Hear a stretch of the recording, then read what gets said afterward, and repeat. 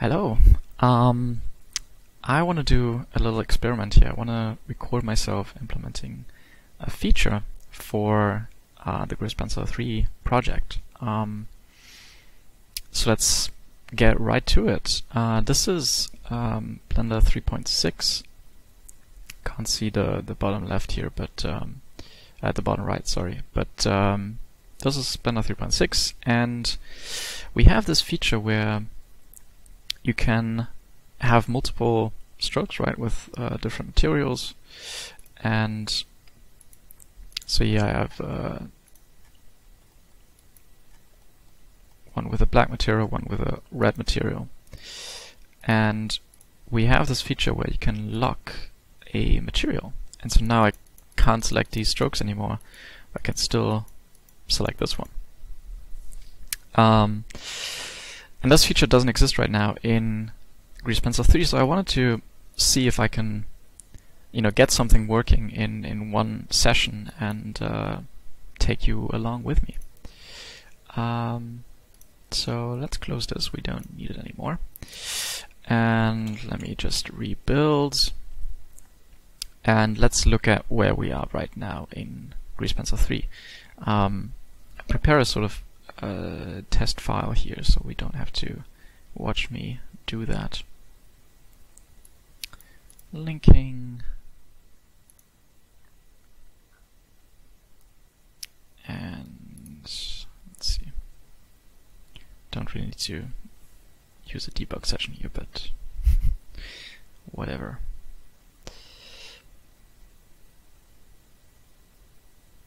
So this is the file. So again, we have like uh, strokes with different materials, the black one and the red one, but um, let's say I set the material, so assign material uh, to the active one, which is white here in this case. You can see that it changes for all of them. Uh, wait, which is actually correct. Uh, I just noticed that my um, my test file isn't isn't quite right here. Oh, and I'm in edit mode, so I can't undo. Um, yeah, we need to fix that. But I need to lock the red material. Make sure to save the file again. And then uh, assign the material, but yeah, so it doesn't work right now. Alright, so we, we have our test file. That's good. Let's see where do we even start, right? Well, let's look at the operator I just used, which is the um, um, stroke material set operator um, and see what it does. So here we can see that it um, gets the active object, um, it gets the current material index, which is the this is sort of the, the active material slot, um, and they are one based, so we have to subtract one to get the index. And then we just go through all of the editable drawings, right? So you could have um, a lot of them, right? All of the layers and then multi-frame editing. So those are all of the, the drawings that you're currently editing. And we loop through all of them in parallel. And here we get the selected curves as an index mask. Um, and then for each of the selected curves, we um, basically set this um, attribute. So we have an attribute called material index, and we, uh, if it exists already, we, we get it here, or we add it if it doesn't exist. And then for each of the curves, we set the material to this uh, this active material slot. And that's it. Um, so pretty simple. And basically what we want to do here, what we want to change is we want to make sure that here, instead of just retrieving the selected curves or strokes, um, we want to somehow include the fact that some of them might not be editable. So really what we want is sort of an, an index mask um, of the editable uh, strokes, if I can type. Right. Um, this should actually be const. Um, and so we should put that in the Grease Pencil namespace. Maybe it could be called something like uh, retrieve editable strokes. There we go. Um, now because we want to look at the materials, and materials can be both on the object and on the object data. So I think what we have to pass here is the object itself. And then we also want to pass the drawing, for which we want to get the editable strokes. Uh, so this would be info.drawing. Um, and finally, we want to pass the um, index mask memory here. This this index mask memory is basically just a way that we can um, have sort of it's almost like uh, the the allocator, right? So that we don't have to um, allocate a bunch of memory for uh, multiple um, index index masks. It's it's basically just a convenient way to not have to think about where the memory is, um, and do like memory management. Um, I'm sure there are other reasons. Uh, but yeah, I think this is sort of what we want to do, right? And then we would just check if that's empty, and then don't do anything, and otherwise we just go over those um, and have the curve index here. So that would be that would be the idea. Let's see if we can implement it. So that would be in the uh, Grease Pencil editor namespace. Right, and we have already this API for the drawings here, so let's put this here. Um, start with this, so we have the index mask that we want to return. Um, and yeah, so we want to pass in an object. We can't, I don't think we can use a cons reference here, which would be ideal, but most of the material API is still C-like, hasn't been really ported to more modern C++ style, so we just have to accept that and use a mutable reference for now. Uh, so this would be the grease pencil object, and then we can pass a const reference to the drawing, drawing and uh, then we have the index mask memory. There we go. Yeah, looks good. Alright, let's try and see if we can implement that. So this would go into the utils. Yeah, again, this is where we have the other API right now. Cool. Um, maybe for a good measure, we'll just assert that the object uh, is actually of the right type. So this is OBE grease pencil. And alright, what's the first step? So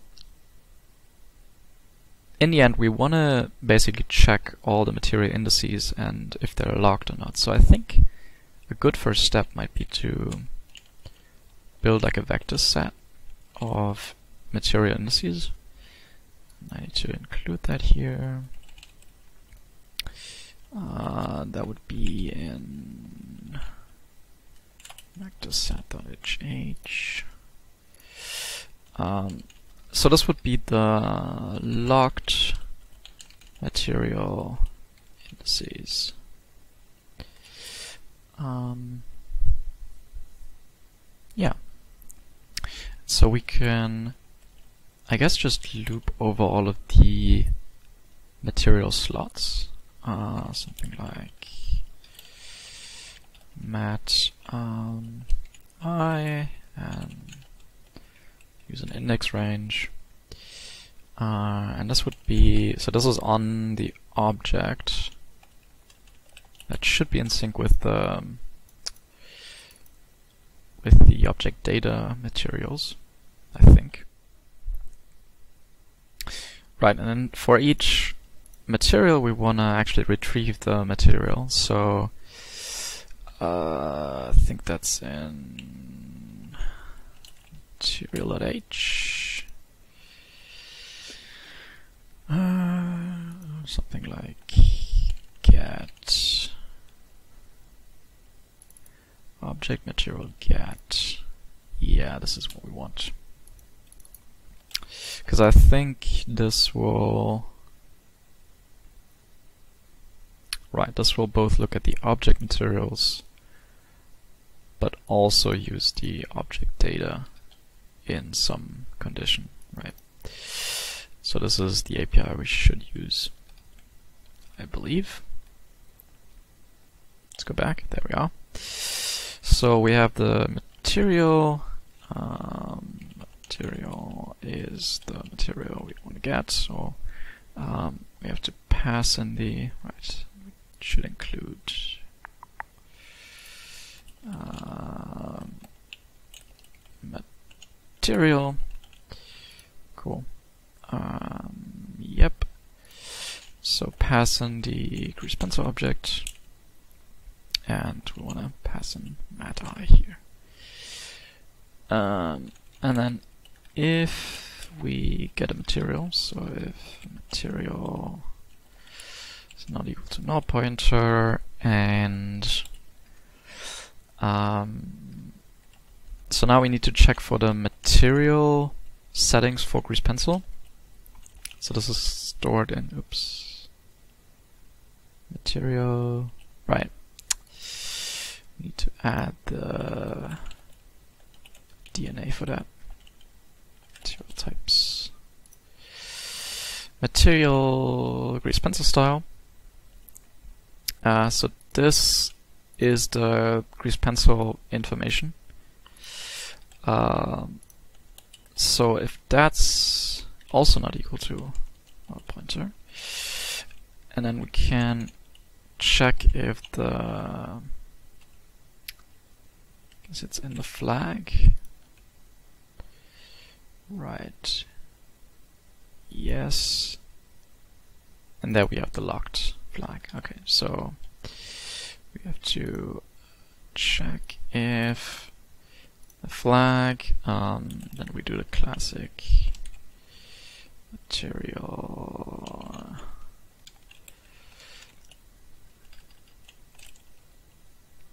locked. Uh, so we want to end it with that and want to check if that thing is not equal to zero. So if the flag is set,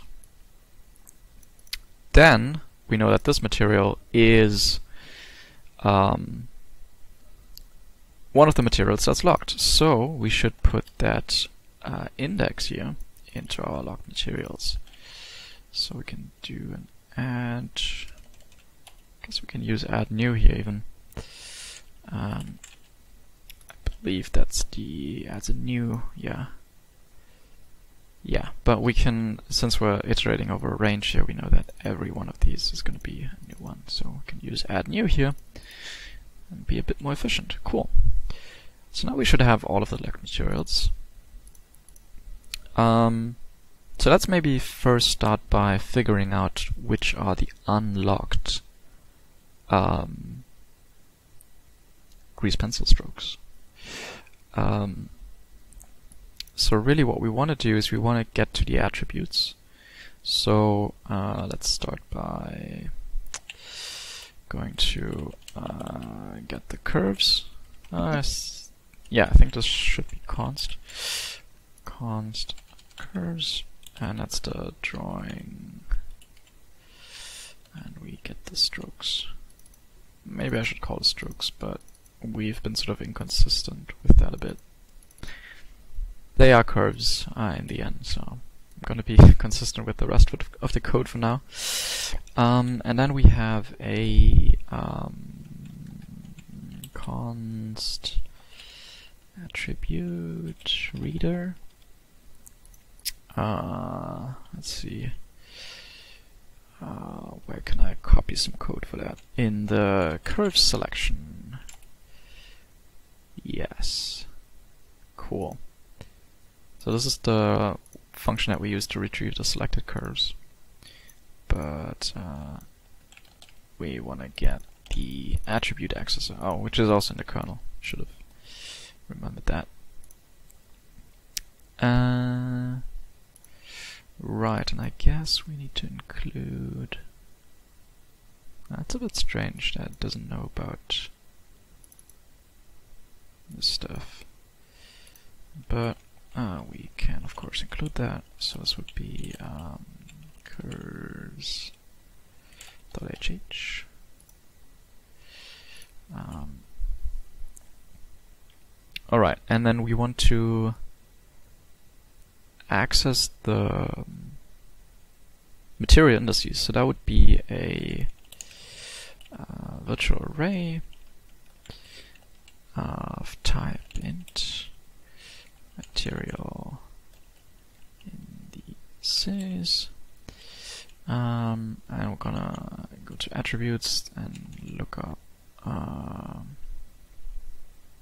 look up our default material index is I think the name. Can double check that. Grease pencil convert legacy.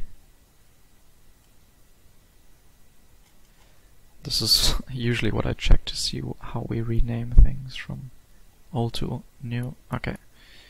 Yeah, so in this case we have a mutable attribute accessor, but we don't really want to create this material uh, index attribute, right? We just want to retrieve it, and if it's not there, we just have to use a default value. Um, but it's on the domain curve. That is true. Um, yeah, now we have the default value, so let's just use negative 1. That should be good.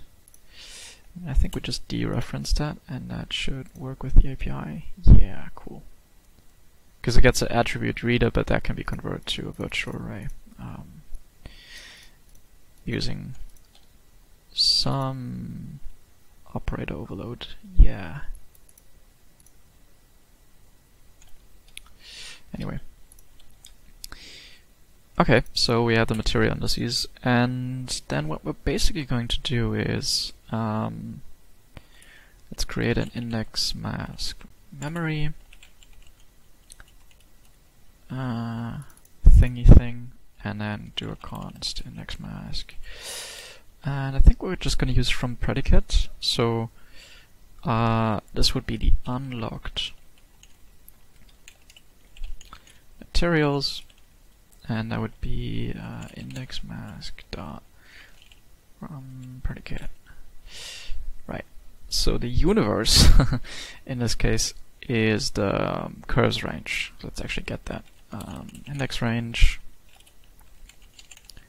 curves range, uh, and that's just curves dot curves range. Cool.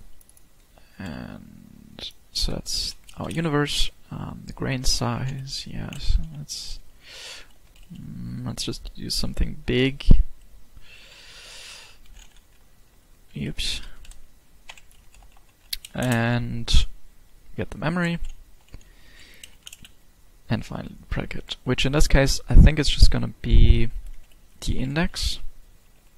So this is a lambda that builds the actual index mask, right? So I think what we get here is like constant um, index, which in our case would be the curve index.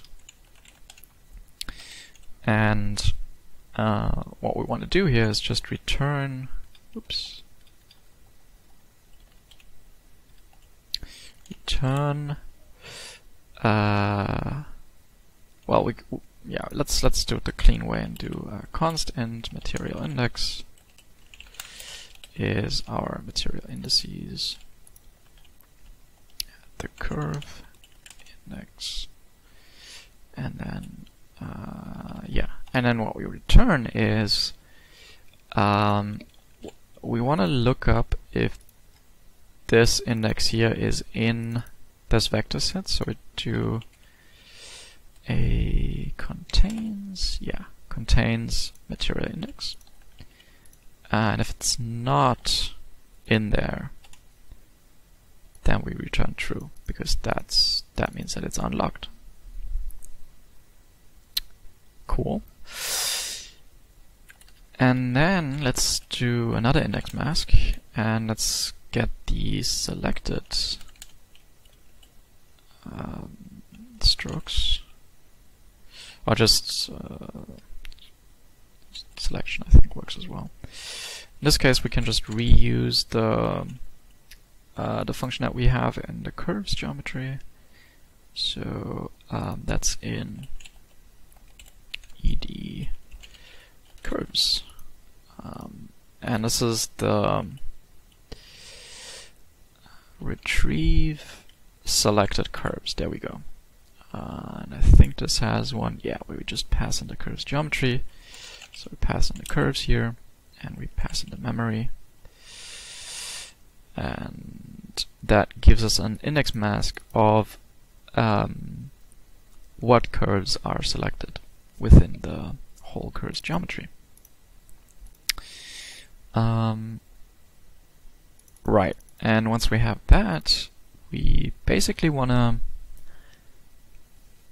combine them, right? So what we want to do, we might have multiple ways of um, retrieving editable strokes, but I think for now what I'm going to do to get our example working, right? Remember we have this operator here. Uh, const. Okay, uh, something is not right, but we'll figure that out. Um, we want to get the strokes that are selected and have an unlocked material. So we, yeah, we, we basically want to do like an a sort of AND operation on these two index, index masks uh, which I don't think we have. Um, from from Union. Uh, that do the right thing. Oh, we want to do an intersection. So no, this is not what we want to do. We don't want to union them because we want to figure out where they're both true. So I think we're just we're just going to use a from predicate here. This can be um, can be rewritten in a in a better way in the future. Uh, we basically want to reuse this API here, um, like that, and then we want to say um, if oops, return um, unlocked materials at curve i.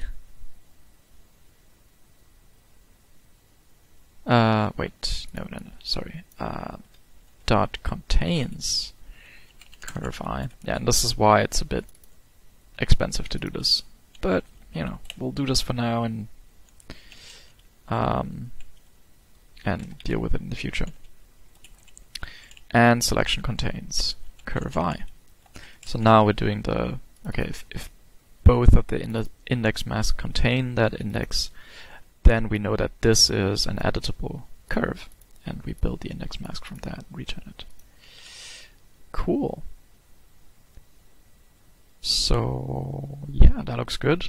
Um, let's see if we can get our thing working here. Uh,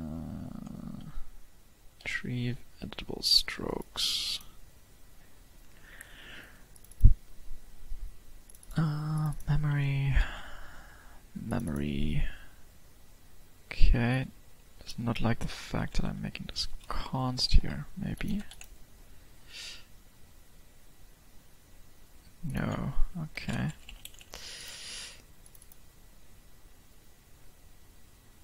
Not sure what's going on, but we can figure it out.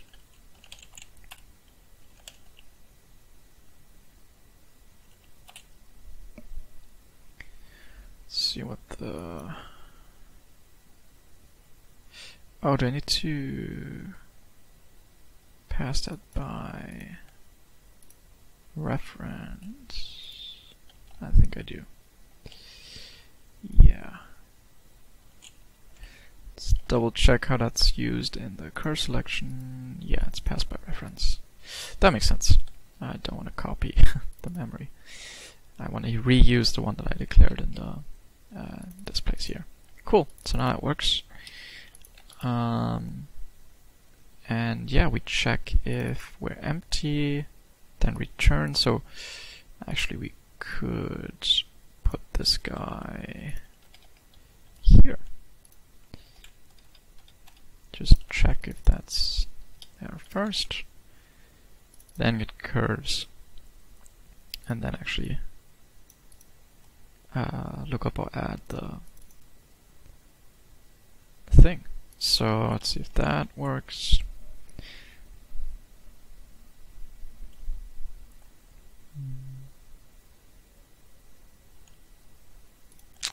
We shadow a parameter. Oh, right. Right. because I I don't want to create this memory here. I actually want to use the memory I'm getting um, from from outside. Alright, and looks like we're linking. Perfect. So now we gotta debug the code, see if it works. Obviously this is just changing one of the operators, right? Um, basically all of the other operators will have to somehow use this API or a future API that does something similar, like maybe we want to retrieve the editable points instead of the strokes. Uh, but let's see how we're doing with this operator.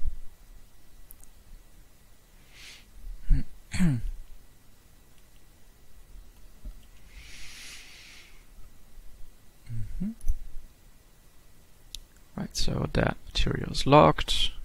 We have the white one selected, so let's do our assign material. And it didn't work. Alright, so we will have to do some debugging. Um, let's first see what happens with our locked uh, material indices. Does this have a print or something? That would be awesome. Probably at the very bottom. Clear. Private. No. Can't collision. I didn't see one. I guess I can just try. Uh, cout.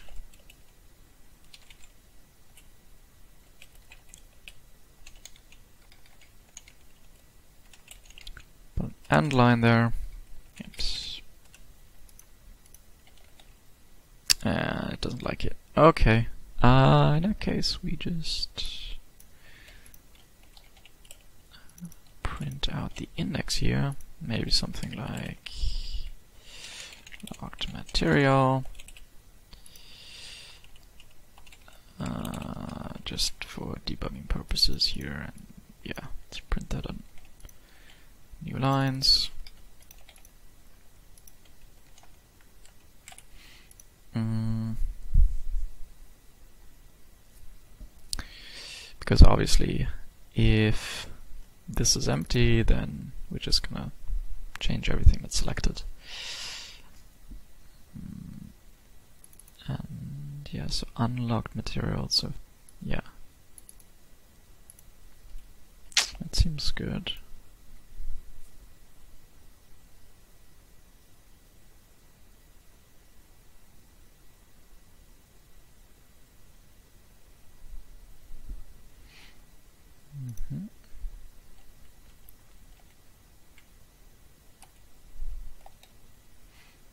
Is three zero one two three.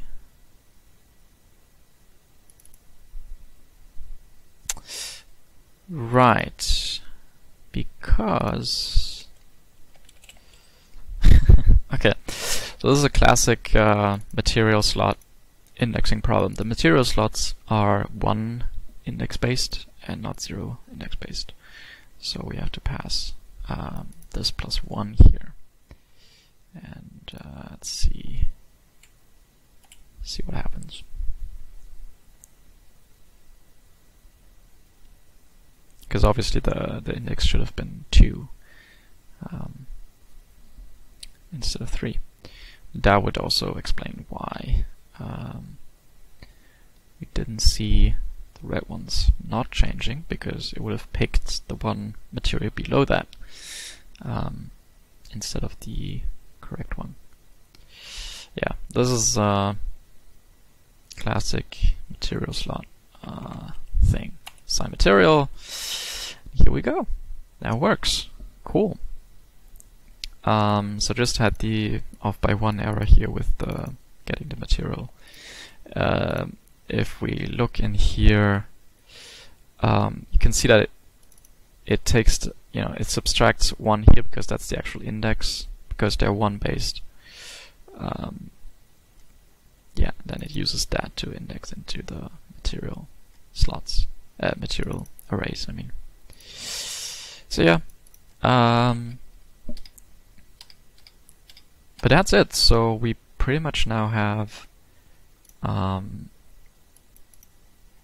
uh, a function here that can give us the uh, let's remove the print here that can give us the editable strokes and we can of course expand this in the future right if we, if we have something else that uh, means you can't edit a stroke for some reason we could add that to this function and hopefully every operator would use that um, to get the editable editable strokes um, but yeah, cool. That only took like half an hour, which is uh, awesome. Um, and I think we can stop the video here. Um, let me know if you enjoyed that, and uh, see you in the next video, maybe.